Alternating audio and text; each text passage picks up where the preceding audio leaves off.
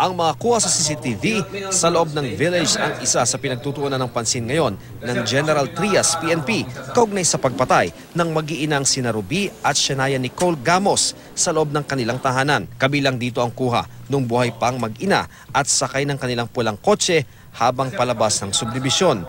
Kanina, sa layang makakuha ng dagdag na ebidensya, muling pinasok ng Special Investigation Task Group Gamos ang tahanan kung saan natagpo ang patay ang mag-ina nitong lunes. Habang sarado ang bintana, sinubok na sumigaw upang malaman kung may maririnig.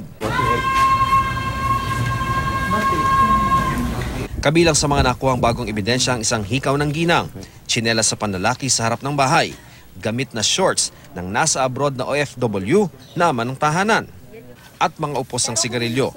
Ang katabing unit ng bahay, pinasok din ng mga otoridad sa layong makakuha ng iba pang mahalagang impormasyon.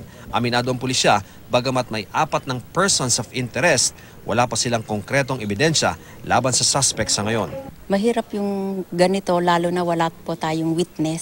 So, nag-exert po kami ng effort para makakuha ng evidence. Matibay ang kanilang paniniwala. Kakilala ng mag-inang biktima ang may gawa ng krimen. Kahit daw kasi ang aso sa harap ng bahay, hindi nag-ingay noong December 7, Huwebes ng gabi, kung kailan pinaniniwala ang naganap ang krimen.